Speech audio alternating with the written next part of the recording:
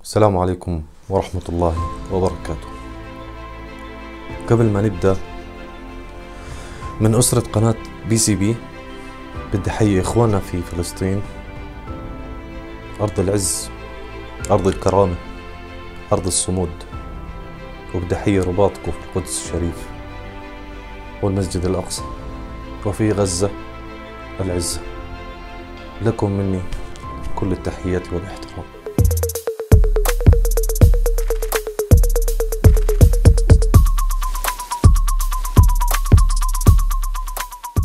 بدنا نحكي عن هاي القطعة.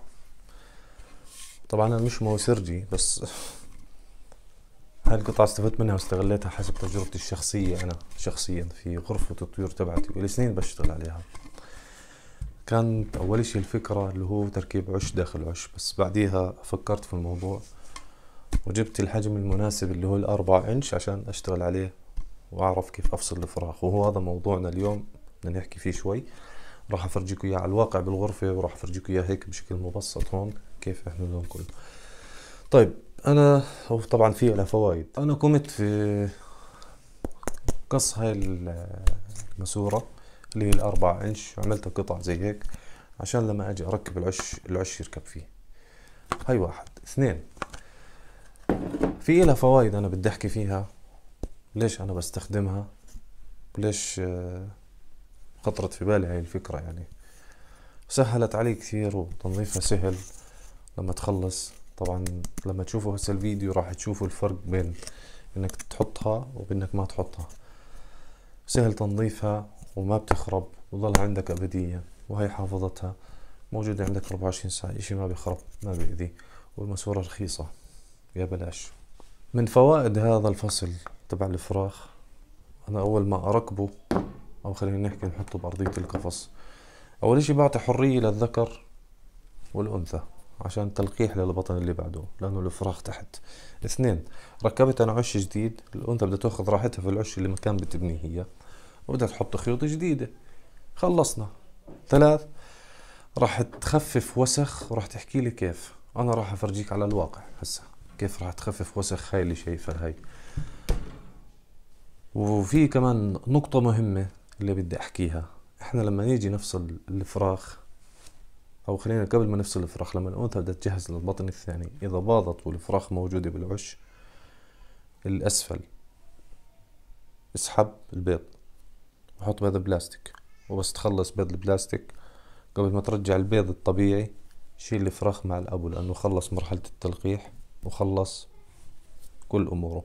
بظل عليه مرحلة الزق الذكر هو اللي راح يكون بالفراخ. الأنثى انسى موضوعها خليها تحضن.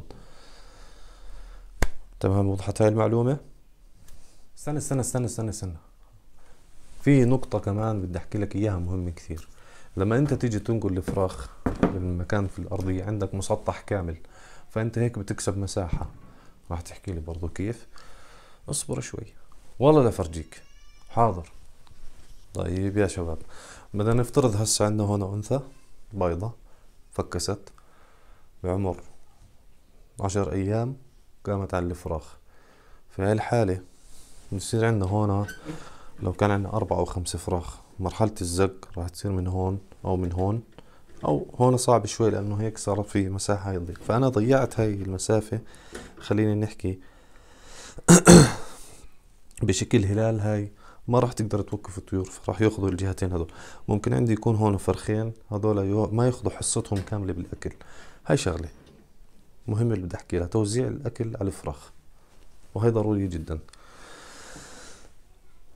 اثنين على عمر 14 يوم الأنثى بتبلش تدور على خيوط جديدة.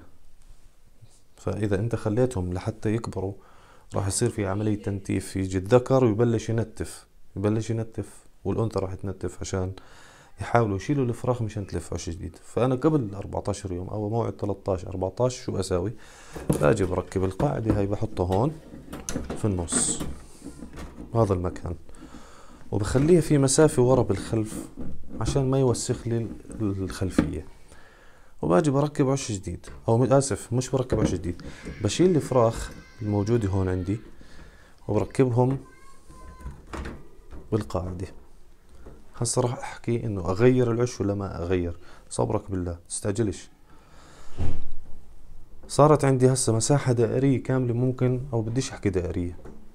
بدنا نخلي بس جزء صغير ما بوقف فيها طيور بس عندي مساحة كبيرة على جميع الجهات بقدر الطير يزكونا تمام؟ وباجي بركب عش جديد. هيك خلصنا. موضوع سهل بسيط يا إخوان. أقسم بالله ما هي معادلة نيوتن. أنت بس قول يا رب. توكل على الله.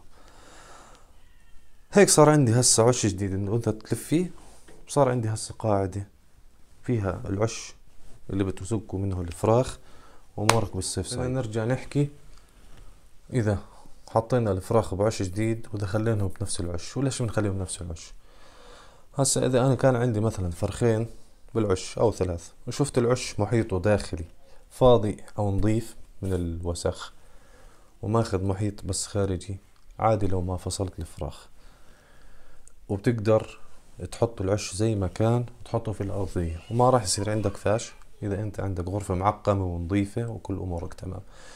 إذا بدي أفصل الفراخ ركز هاي المعلومة. في ناس ممكن يفصل الفرخ يحكي لك خلص بدي أشيله منظف العش بعمر تسعة أيام ثمانية أيام بكون لسه مش متمكن. الفرخ وهسه راح أحكي لك ليش.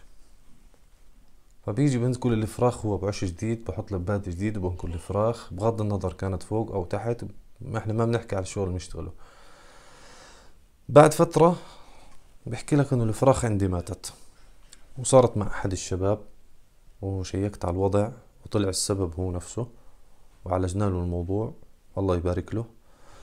اللي بصير كالتالي الفرخ لما يكون صغير يا أخوان ما عنده إمكانية إنه يجي هو يأخذ مساحة عالية أو خلينا نحكي اللي هي المفصل نفسه ما بقدر يرفعه رفعة كاملة عشان يرمي البراز برا.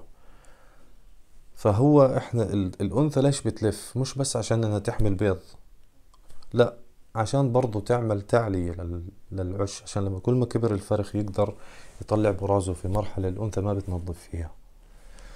فهو هون اللي بيصير كالتالي بيجي الفرخ بيرمي البراز تبعه. وين برميه؟ برميه بنفس العش بس من المنطقة العلوية فبسحل البراز لوين؟ لتحت. فبصفي وين؟ بصفي بركة وسخ تحت جريهم أو خلينا نحكي عند البطون هو بيعمل التهابات وبيعمل مشاكل وبيعمل حت بيعمل كل كل المشاكل بيعملها. بديش أحكي شوي المشاكل. بصير المنظر مؤذي وما بتقدر لا تنظف الفرخ ولا تعالج الموضوع لأنه بصير يستضعف شوي شوي بطل ياكل يعني عايش بجورة شو اسمه؟ المهم فهاي المعلومة بغلط فيها بعض الناس. فأنت لا تستعجل على نقل الفرخ. بدك تنقل الفراخ ما في مشكلة حكينا. ممكن تنقلها على 11 يوم. على 12 يوم ما عندك مشكلة. بكون الفرخ متمكن بكون عظمه صار يابس. لما يكون عظمه طري ما بيقدر يعطي مسافة كبيرة واثنين إنه حجمه صغير. والعش لما أنت تشيل العش الأولاني وتركب اللبادة صار عندك منطقة فراغ عالية. فهيك راح الفرخ يزحف لورا ويرجع على المري وما يوصلش للهدف تبعه ويرمي الحمل تبعه ما برجع الا الحمل نازل عنده. شو استفدنا؟ طيب هسه بدنا نفوت على الغرفة بمعيتكم ونفرجيكم على الواقع. وافرجيكم على الواقع كيف؟ هاي فادتني واستفدت كثير منها مش شوي يعني. واعطيكم الدليل إنه كيف انه بتحافظ على الوسخ وكيف وكيف وكيف وكيف. أنا ما سكتش صغير لا ثلاث أقفاص راح افرجيكم إياه مش لواحد. استنوني. شوفوا بدي افرجيكم على الواقع هسه كيف اللي كنت أقصده أنا. أنه هون بس رقم ثمانية شوف هذول فراخ لحظة. ارفع الشبك شوي. شوف هون كان المقر تبعهم أو العش تبعهم مع القاعدة اللي حاطها. هذا فرخ منهم. وهون في عندي كمان فرخ. خلص على المجاثم. ما بوصلوا العش مع ذلك الأنثى بيضة. وأنا سحب البيض. أيوة. هون عندي كمان نموذج. هون في فراخ وفي مسافة خلفية. هذا الوسخ مش من الفراخ من الأكل بتنظف ما في مشكلة. بس شوفوا كيف انتو أرضية القفص بتضلها شوي نظيفة وكل الأوساخ كلها بتتعلق في القاعدة نفسها. هذا بسهل على على المربي وما بصير في عندك أوساخ كثيرة. وبعديها بتطلع الفراخ يا إما على المجاثم يا بتأخذ بالأرضية بس ما بتروح على شوش خلص. عندي كمان كمان عش. شوفوا هون في منطقة فراغ بين العش. أنا بخلي مسافة دايما عشان ما يتوسخ الخلفية. وكل شوف الأوساخ وين متجمعة؟ كلياتها على القاعدة. وهاي الفراخ كلها الثلاث فراخ قاعدة في الزاوية تستنوا محطة الباص. قبل ما أختم يا إخواني أنا بتمنى أنكم استفدتوا بس قبل ما أختم بدي أحكي معلومة صغيرة. أنا ما بفرض عليك تشتغل هذا الشغل إنه والله إنه تيجي تحكي بكرة عوس بيشتغل زي هيك وهاي الشغل غلط وكذا زي لا كل إنسان عنده طريقة. وأنا مرتاح على شغلي وأنت مرتاح على شغلك. بالعكس إذا مرتاح على شغلك عادي خليك وأنا بحترم هذا الإشي. وإذا كان عندك أنت فكرة جديدة ما عندي مشكلة. بالعكس إحنا كلنا بنفيد وبنستفيد. بس أنا هاي تجربتي الشخصية بحب أعرضها للناس وبحب أعطيها للناس عشان يستفيدوا منها. لأنه في كثير أشخاص طبقوا هذا الشغل وارتاحوا عليه كثير.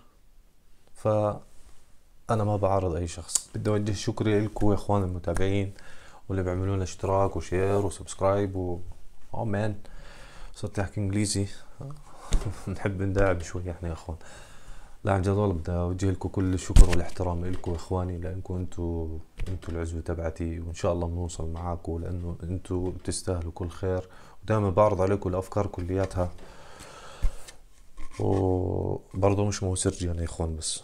والله ماني موسرجي مع احترامي لكل الموسرجي والله إني حبايبي وإخواني. بس مش الفكرة بس أنا لأني عشان بستخدم اشي بخص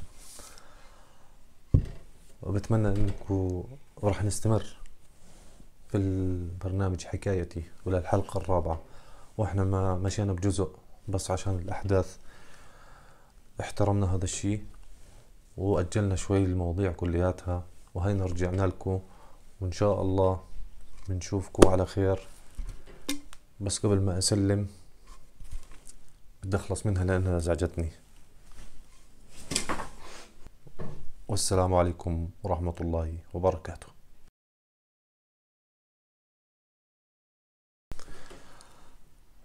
بدي أوجه شكري لا استنى شوي بس. ما تلفش وجهك هيك. طب أنا مين بحكي خلاص خلص صرت أحكي مع حالي يا حبيب الله. وبدي أوجه شغلي. شغلي. استغفر الله العظيم شغلي. وبدي أوجه شكري لكل المتابعين ولكل ال إخوان بتمنى نكون استفدت